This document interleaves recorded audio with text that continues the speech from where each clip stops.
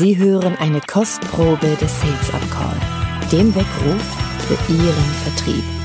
Herzlich willkommen und heute bei mir im Studio Katja Porsch.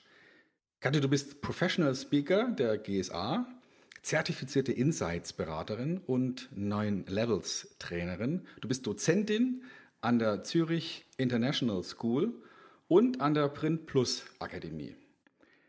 Du hast deine Erfahrungen gesammelt zunächst mal im Vertrieb, in der Praxis, im Immobilienvertrieb und schon seit damals gehörst du zu den Top-Closern. Herzlich willkommen hier im Studio Kataposch. Danke, Stefan. Wir haben ein Thema uns heute ausgesucht, das für viele, die mit Vertrieb nur so am Rande zu tun haben, ähm, ja, vielleicht so ein bisschen eklig und ein bisschen, ja, vielleicht auch verwerflich ist, nämlich das Thema Closing. Also man könnte ja auch sagen, Kunden über den Tisch ziehen. Aber jetzt weiß ich, dass du in deinen Vorträgen und Trainings ja ganz bewusst sagst, ja, Closing hat was damit zu tun, letztlich den Sack zuzumachen, aber noch deutlich mehr. Erzähl uns doch mal was dazu. Closing verbinden ja viele, die aus dem Verkaufsbereich kommen, natürlich mit dem Abschluss. Und dann heißt genau. es, wie komme ich zum Abschluss? Und ja, einige denken dann, klar, du musst den Kunden dahin bringen, du musst den Kunden dahin drücken. Ja. Andere sagen, hm, vielleicht ist es gar nicht so, vielleicht ist so viel entscheidender. Und für mich bedeutet Closing weitaus mehr als der Abschluss. Okay. Ja, das heißt, zum einen geht es natürlich darum, ein Ergebnis zu erzielen. Es geht darum, ähm, aktiv zu werden. Und es geht aber grundsätzlich auch darum, dort anzukommen, wo ich ankommen will. Okay. Und das ist im Verkauf natürlich der Abschluss im Leben, aber grundsätzlich geht es, doch uns, da, geht es uns darum, dass wir unsere Ziele erreichen. Es geht uns darum, dass wir Erfolg haben. Für jeden bedeutet Erfolg was anderes. Und wir wollen wissen, wie komme ich denn da an, wo ich ankommen will. Okay, also das heißt, jetzt ähm, natürlich hat es auch was damit zu tun, endlich mal den Sack zuzumachen mhm. und den Kunden auch ein Stück weit vielleicht zu drücken oder zu ziehen, das ist ja immer so die Frage, mhm. äh, jetzt doch endlich sich zu entscheiden und seine Unterschrift zu geben oder sein, seine Kreditkarte mhm. zu zücken. Aber, äh, aber du sagst ja jetzt, naja gut, aber es ist ein Stück weit ja auch ein Ergebnis und wir wollen ja alle auf irgendeine Art und Weise Ergebnisse erzielen. Mhm. Ja. Richtig, und die Frage ist auch immer, wie das bei uns besetzt ist. Für mich ist Ergebnis absolut positiv besetzt.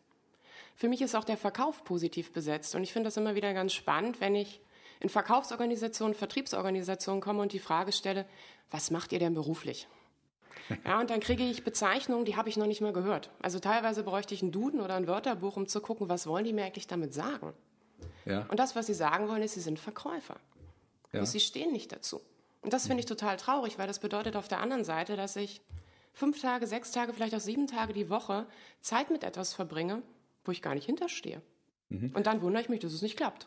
Also du meinst so die, die, äh, die Account Manager dieser Welt und die äh, Berater. Ich habe da neulich in der Xing-Gruppe eine, eine Umfrage dazu gestartet, unfreiwillig. Also ich habe einfach sozusagen ein, ein, meine Meinung gepostet und, äh, und genau dazu. Ja, Es gibt Leute, die schreiben auf ihre Visitenkarte Account Manager ähm, oder Berater oder irgendwie sowas in der Art. Aber genau. sie sind, in Wirklichkeit sind sie Verkäufer. Mhm. Und, und die Frage war, wie kann man denn das sozusagen äh, in eine sinnvolle Bezeichnung umdrehen? Ähm, weil was macht denn ein Verkäufer eigentlich? Ja, der macht seine Kunden glücklich oder er macht äh, er sorgt dafür, dass Ergebnisse zustande kommen oder wie auch immer. Mhm. Also du meinst, es hat auch was damit zu tun, dass Verkäufer so ein Stück weit sich ein bisschen davor ängstigen, dieses Closing hinzukriegen, also diesen Abschluss hinzukriegen. Bestimmt nicht alle, aber ich habe auch schon festgestellt, es gibt gerade auch in meiner Klientel, die eher beratungslastig ist, komplexe Themen. Da sagen die Leute, sobald es zum Thema Abschluss kommt, sagen sie, ah, nee, Herr Heinrich, also darüber wollen wir uns eigentlich gar nicht unterhalten, weil wir können ja niemals im ersten Gespräch schon eine Unterschrift kriegen. Insofern ist das Thema Closing für uns irrelevant. Ja, also da sieht man auch schon ganz deutlich, da sind natürlich so Auffassungen drin, die haben dann im Kopf so diesen klassischen ähm, ich sag mal, Vertreter, mhm. der zu dir, wie auch immer, in die Wohnung reingekommen ist und der jetzt genau weiß, ich muss jetzt hier eine Unterschrift kriegen, sonst kriege ich die nie wieder. Und solche Leute haben die dann im Kopf und deswegen ist für die Closing, also das Ergebnis, irgendwie unangenehm und, und auch ein Stück weit, naja, abstoßend. Wenn Ihnen das gefallen hat, können Sie die komplette Ausgabe herunterladen unter www.salesupcall.de.